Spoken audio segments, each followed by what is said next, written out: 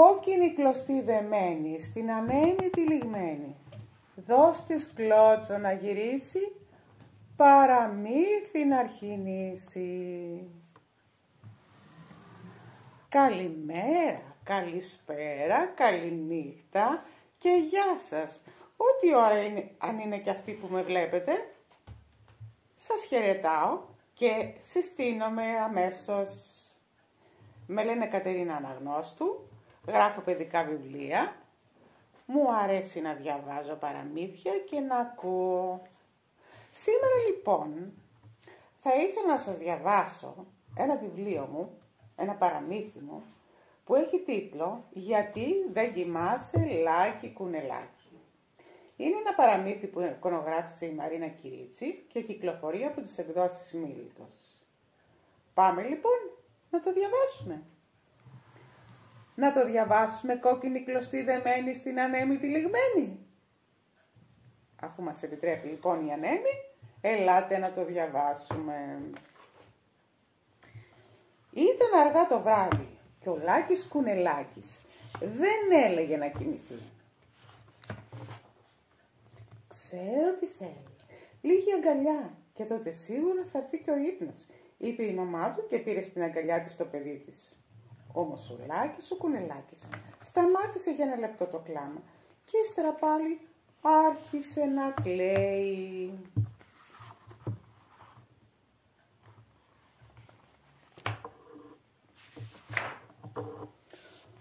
Ξέρω τι θέλει. Εγώ δεν μίλησα καθόλου έτσι κουρασμένος που γύρισε από τη δουλειά, είπε ο μπαμπάς του και άρχισε να μιλάει στο παιδί του. Ο Λάκης σταμάτησε για λίγο για ένα λεπτό μονάχα κοιμήθηκε και έπειτα άρχισε πάλι να τσιρίζει.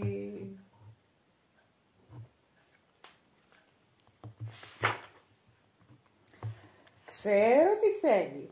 Εγώ ξεχάστηκα με τα πολλά μαθήματα και δεν πρόφτωσα να παίξω μαζί του καθόλου, είπε η αδερφή του και του πέταξε το πολύχρωμο τόπι της. Ο Λάκης ο Κουνελάκης άρπαξε το τόπι, το έπαιξε για λίγο και αποκοιμήθηκες στο λεπτό. Τα φώτα σβήσανε και όλοι πέσανε να κοιμηθούν. Άδικα όμως σε λίγο ξύπνησε κλαίγοντας ακόμη περισσότερο. «Ω, μα τι συμβαίνει εδώ» ρώτησε η γιαγιά που έφτασε από το διπλανό δωμάτιο φορώντας το νυχτικό της.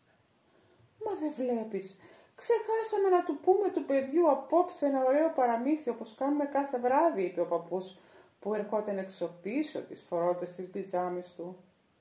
Τότε η γιαγιά άρχισε με τη ζεστή γλυκιά φωνή της να διηγείται ένα παραμύθι.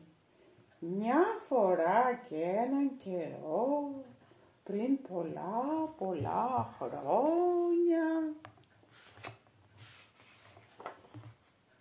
Στη μέση του παραμυθιού ο Λάκης είχε κοιμηθεί Τότε σβήσανε τα φώτα και πέσανε όλοι τους για ύπνο. Όμως αυτό δεν κράτησε για πολύ, γιατί έπειτα από λίγο ξύπνησε και με το κλάμα του ξεσήκωσε όλη τη γειτονιά.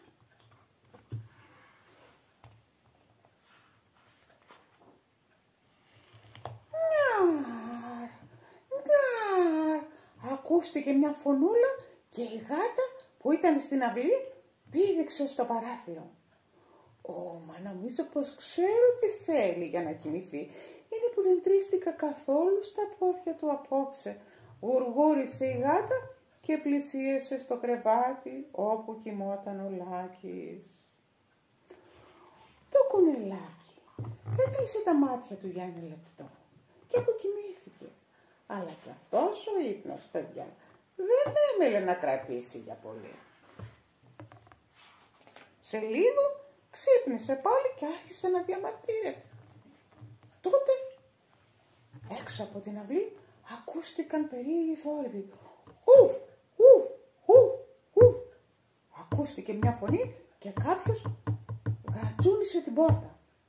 Η μαμά Κουνελίνα άνοιξε έκπληκτη. Ω, κόφου, κόφου, κόφου. Ω, μα νομίζω πως ξέρω τι θέλει.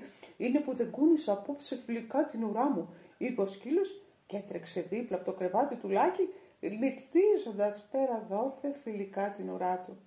Η γάτα στο μεταξύ, παιδιά, ζάρασε κάτω από το κρεβάτι από το φόβο της, μόλις είδε το σκύλο.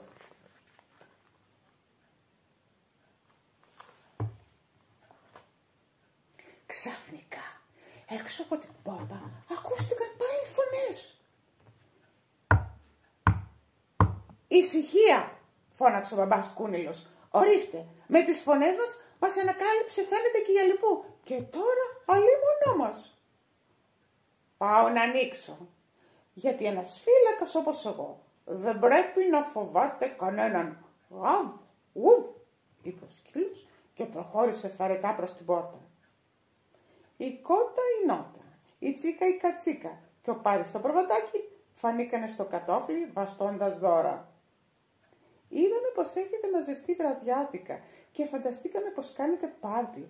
Μπορούμε να περάσουμε, ρωτήσανε οι τρεις φίλοι και ακουμπήσανε τα δώρα τους στο τραπέζι.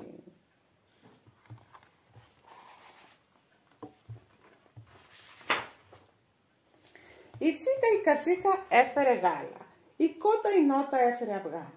Και ο Πάρης το προβατάκι έφερε γιαούρτι. Μα φυσικά, φυσικά, περάστε, μόνο που μόλις τελειώσαμε. Ε, ωστόσο, μπορούμε να πιούμε μία κούπα γάλα, είπε η μαμά και πήρε την κανάτα με το γάλα και σέρβιρε σε όλους. Μόνο ο παππούς με τη γιαγιά φάγανε γιαούρτι. Αλλά τώρα μόλις μου ήρθε μια ιδέα. Λέω να μαζευτούμε μαζί ένα απόγευμα, να γνωριστούμε καλύτερα. Θα φτιάξω μάλιστα και μία τούρτα με τα δώρα που μας φέρατε να το γιορτάσουμε είπε η μαμά και χαμογελώντας πήρε το λάκι, τον γκουνελάκι στην αγκαλιά της, όπου είχε αρχίσει να κλείνει τα ματάκια του. Ωραία ιδέα. Ευχαριστούμε πολύ για την πρόσκληση, είπαν οι τρεις φίλοι και κινήσανε να φύγουν. Καληνύχτα, Λάκη, κουνελάκι, και όνειρα γλυκά, είπε η τσίκα η κατσίκα και βγήκε πρώτη. Καλή σου νύχτα, Λάκη, κουνελάκι, και όνειρα γλυκά, είπε η κότα η νότα και βγήκε δεύτερη. Καλό σου βράδυ, Λάκη κουνελάκι, και όνειρα γλυκά, είπε ο Πάρης στο προβατάκι και προχώρησε και εκείνος.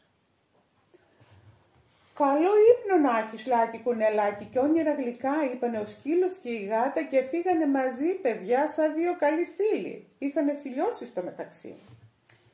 Καλό ξημέρωμα και όνειρα γλυκά, Λάκη κουνελάκι, είπε η γιαγιά με τον παππού και φύγανε για το δικό τους δωμάτιο χασμουριώντας. Όνειρα γλυκά, λάκι μου, αδερφάκι μου, είπε η αδερφή του και τράβηξε για το κρεβάτι. Όνειρα γλυκά, λάκι μας, φεγγαράκι μας, είπανε και ο μπαμπάς με τη μαμά. Και ξαπλώσανε το κουνελάκι του στο κρεβάτι του και το σκεπάσανε τρυφερά με την κουβερτούλα του.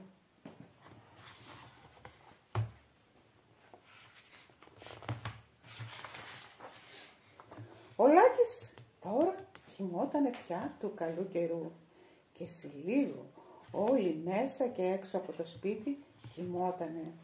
Μονάχα το φαγεράκι έμεινε άγρυπνο στον ουρανό και κάποια στιγμή που δεν το κοίταζε κανείς έκανε ένα γκέλ, μια βουτιά και κατέβηκε και τρύπωσε μέσα από το πανιστό παράθυρο του Λάκη.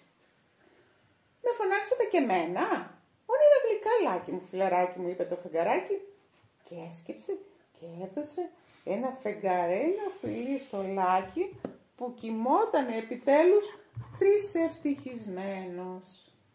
Και ήσαν και αυτοί καλά και εμείς καλύτερα. Και αν δεν κοιμάστε τα βράδια, παιδιά, υπάρχει ένα μυστικό. Να διαβάζετε και να ακούτε βιβλία.